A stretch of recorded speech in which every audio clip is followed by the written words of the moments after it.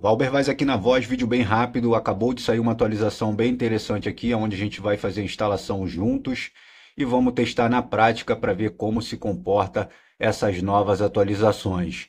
Primeiro a gente vai instalar por aqui o nosso aplicativo de segurança responsável pelo Game Turbo, concluído com sucesso e agora vamos fazer a atualização do aplicativo mais interessante para quem curte Free Fire e tá aí o Mi Macro, como vocês estão vendo, recebendo uma atualização.